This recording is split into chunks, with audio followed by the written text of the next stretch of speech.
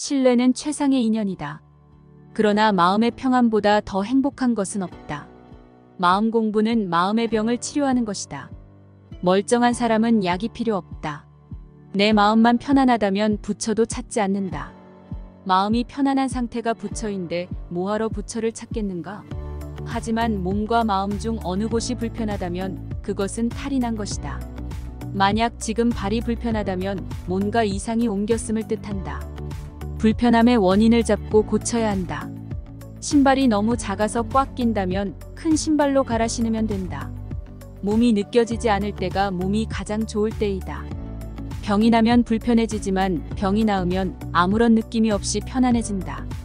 일이 없을 때에는 휴식을 취하고 배가 고프면 밥을 먹고 잠이 오면 눈을 감는 것이 제일 좋다. 어리석은 사람은 이를 비웃겠지만 지혜로운 자는 그 이치를 안다. 어떤 순간에도 분노하지 않는 인욕의 자세를 가져라. 인욕의 핵심은 참는 것이 아니라 모욕을 마주했을 때 분노와 증오가 생기지 않는 것이다. 남들이 나에게 욕했을 때 대화 다치지 않더라도 마음속으로 화가 치밀고 상대를 저주한다면 그것은 인욕이 아니라 화를 꾹꾹 참는 것이다. 한산이 자신의 친구 습득에게 물었다.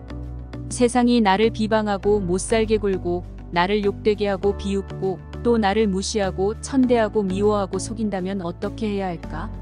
그러자 습득이 답했다. 참고 내버려두고 피하고 인내하고 그를 상대하지 말게. 그러면 몇 년 뒤에는 그들이 그대를 보게 될 것이다. 어떤 이가 부처를 욕했다. 하지만 부처는 화를 내지 않고 담담한 어투로 그에게 물었다. 그대가 누군가에게 선물을 주었는데 상대가 받지 않았다면 그 선물은 누구의 것인가? 그가 대답했다. 물론 내 것이지요. 부처가 말했다. 그렇다면 방금 전 그대가 내게 한 욕을 내가 받지 않았으니 그 욕은 자네의 것이다.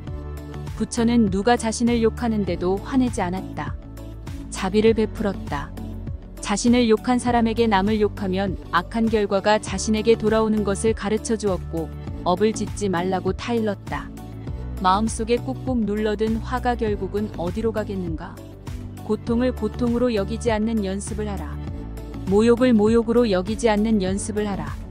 모든 중생은 모양에 집착하여 밖에서 부처를 구하고자 한다. 따라서 구하면 구할수록 더욱더 잃는다. 부처로 하여금 부처를 찾게 하거나 마음을 붙잡고자 한다면 수많은 시간이 지나고 이 몸이 닿을지라도 끝내 바라는 바를 얻을 수 없다. 그런데 중생들이 마음을 쉬고 생각을 놓아버리면 부처는 저절로 눈앞에 나타난다. 이 마음이 그대로 부처이고 부처 곧 중생이다. 무심하게 살라. 바르게 일한다는 것은 언제나 무심으로 사는 것이다. 이런 사람은 몸과 마음이 가볍다. 그렇게 되기까지 많은 노력을 해서 숙달된 것이다. 마치 피아노 연주자가 숙달되게 연주하는 것과 같다. 평소에 잘 준비되어 있으면 애쓰지 않아도 일이 촉촉 잘 이루어진다. 이렇게 무심으로 일하려면 평소의 임무에 충실하고 일에 숙달되어야 한다. 그런 사람의 마음은 늘 초심 같고 한결같고 침착하고 여유롭다. 주인의식을 가지고 전체의 입장을 바라본다. 아랫사람을 잘 지도함으로 부하는 그를 존경하고 동료는 그를 신이 있는 사람으로 대한다. 또한 상사는 그를 듬직하게 여긴다. 마음에 복잡한 잡념이 없이 일할 때는 오직 나의 일에만 몰두한다. 참 삶의 의미는 지금 여기에서 최선을 다하는 삶이다. 현재 직면한 인생을 즐겁고 행복하게 사는 것이 참된 삶이다. 붓다는 제자들에게 말했다. 지혜로운 사람은 지나간 과거를 슬퍼하지 않고 보지 않은 미래를 걱정하지도 않는다. 지금 당장 해야 할 일에만 전념한다. 그래서 그들의 얼굴은 빛나고 맑다. 근심 걱정이 없이 살아가기 때문이다. 어리석은 사람은 지나간 과거를 슬퍼하고 후회한다. 오지 않은 미래를 두려워하고 걱정한다. 그래서 그들의 얼굴은 어둡고 생기가 없다. 후회와 번민으로 살아가기 때문이다. 삶은 시작이고 죽음은 종말이 아니다. 삶은 끊임없이 흘러가고 변화하는 과정일 뿐이다. 우리는 매 순간 아름다움과 경이로움을 만끽하며 살아야 한다. 하지만 삶을 소유물로 생각하기 때문에 죽음을 두려워하게 된다. 사는 것에 집착하지 않으면 죽음이 자연스럽고 두렵지 않을 수 있다. 지금 여기에 깨어서 자신의 인생을 살아야 한다. 과거에 매달리지 말고 미래를 원망하지도 말라. 과거는 이미 사라졌고 미래는 아직 오지 않았느니라. 후회는 이미 지나간 과거에 매달려 신음하는 것이다. 오지 않은 미래를 걱정하며 잠 못 이루는 것은 아직 오지도 않은 미래의 마음에 쓰레기를 채우는 것이다. 붙다가 현재에 되어서 살아나 나간 것은 과거의 잘못을 되새김질하지 말고 미래를 대비하고 계획을 세우지 말라는 의지가 아니다. 오히려 과거를 보다 깊이 포기하기 위해서 현재를 직시해야 한다는 것이다. 미래를 보다 확실하게 대비하기 위해서 현재에 충실해야 한다는 것이다. 과거 후회와 슬픔만 있다면 삶은 앞으로 나아가지 못하고 뒷걸음질만 하게 된다. 미래에 대한 걱정만 있다면 삶은 방향을 잃고 헤매게 된다. 오늘의 우리는 과거 생각에 대한 결과이다. 마음은 모든 것이다. 우리는 생각대로 그런 사람이 된다. 과거의 후회를 어떻게 수용하고 미래에 대한 두려움에서 어떻게 벗어날 수 있을까? 과거 나에게 상처를 준 사람들과 화해하기 위해서는 먼저 내 깊은 내면의 상처를 어루만지고 돌보아야 한다. 미래에 대한 두려움을 놓기 위해서는 내가 아무리 소중히 여기는 것도 변화하고 죽도록 사랑하는 사람도 내 곁을 떠나게 된다는 사실을 받아들여야 한다. 모래가 손가락 사이로 흘러내리듯 시간은 나로부터 달아난다. 두려움과 슬픔을 회피하지 않고 그대로 받아들여 감사해야 한다. 우리 삶에는 늘 행복과 불행, 긍정과 부정이 공존한다. 즐거운 일 끝에는 괴로운 일이 기다리고 있고 모든 이들이 부러워하는 성공의 이면에 무수한 실패가 존재한다. 죽도록 사랑하는 사람과 함께 있으면 늘 행복할 것만 같지만 그 이면에는 집착을 내포하고 있다. 진리에 집착한다면 그것은 더 이상 진리가 아니다. 아무리 옳은 것이라도 그것에 집착하고 유일한 진리로 고집하는 순간 그 가치를 잃는다. 진정으로 행복해지고 싶다면 어디에도 치우침 없는 마음의 평안함을 체득하여야 한다. 좋은 일은 서둘러 행하고 나쁜 일에는 마음이 흔들리지 말아야 한다.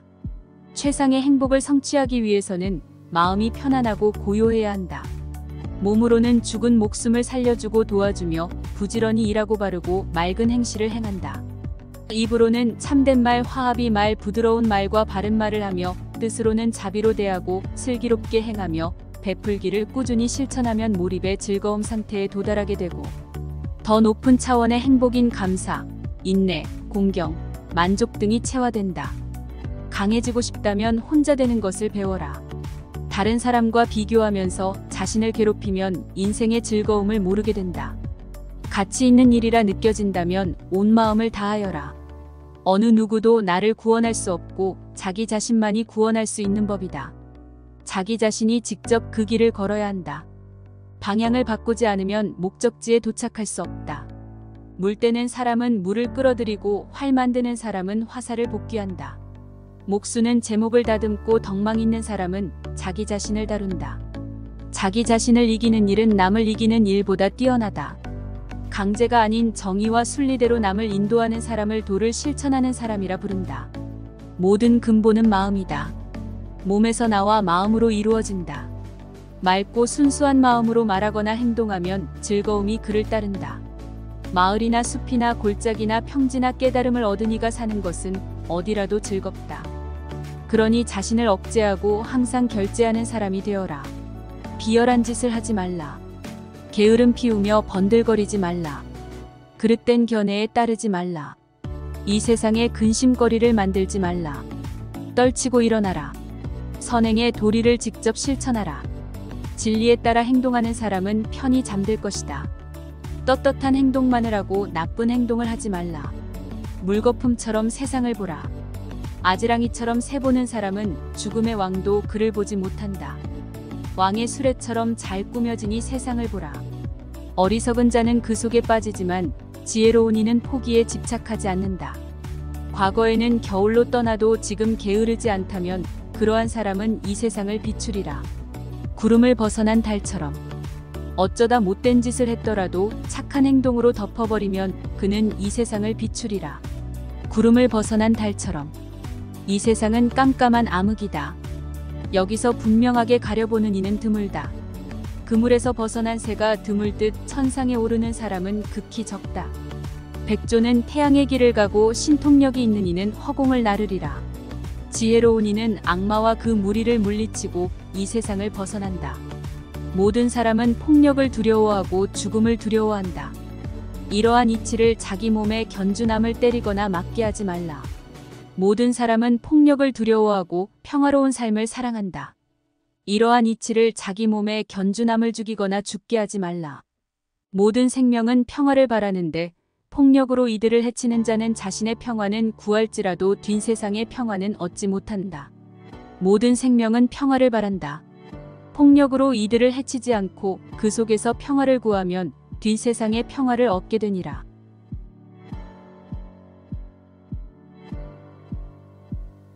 거친 말을 하지 말라.